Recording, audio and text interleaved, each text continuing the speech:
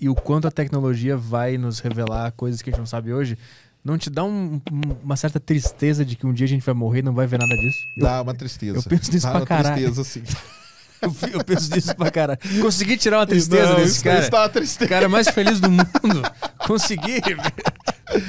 Não, cara, mas, mas pensa o seguinte, cara. Olha que momento que nós estamos vivendo também, né? Temos É. que pensar assim, né? É, mas eu sempre penso, imagina Ah, não, 2500. O, co- como que vai estar a humanidade, né? E É, como eu queria ver esse negócio rolando. tá acontecendo. Não, isso aí é verdade. Dá, um- dá um, uma um certo amargura, né, no coração. Por isso que eu tô.